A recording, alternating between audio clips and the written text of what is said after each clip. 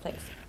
Uh, now for something which uh, Steph has spoken about before, actually, the sort of rejuvenation of the high street. Because many of our towns have suffered because of weak sales on the high street in the shops. They're forcing businesses to shut their doors.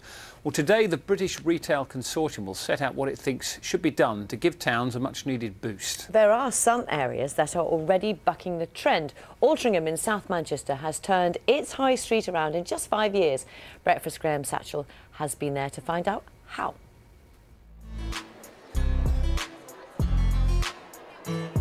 It's always really busy and vibrant, and it makes me feel happy coming here. I just love the food, the variety, and yeah, I just enjoy just being around the people here. Always a great atmosphere too, so. It's a reason to come into town, is it? It is, definitely. It's a Sunday afternoon and you can't move for people. This is Altrincham Market, south of Manchester. It was renovated and reopened five years ago. It's just the right kind of vibe. It fits in. It suits everyone. It's great if you've got kids, or it's it's just it's a great place to be. Nick Johnson is the brains behind the market. It's a series of stalls and, crucially, hand picked good quality food and drink outlets. We're incredibly social uh, animals, and uh, people are sitting down at shared tables, they're exchanging conversations with strangers, but they're there with the full family. It's, it's, it puts a smile on people's faces. You can tell that actually this is a happy place now, it's a happy town now. Which is a surprise because Altrincham used to be a ghost town. A decade ago, more than 30% of the shops here were shut. Today, footfall is up, vacancies are at record low levels.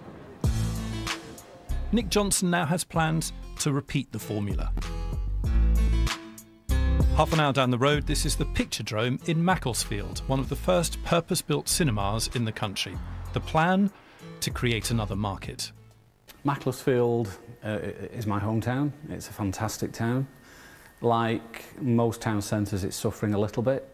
Carl Massey, who's just sold this site to Nick, has high hopes for the future of his town. I think it will transform this end of town. I think it'll put Macclesfield on the map as a food destination. This is Macclesfield High Street. Pressure from things like online shopping and business rates means shops are shutting. So, is it possible to replicate the success of Altrincham? When we forecast the decline of the high street, it's premature.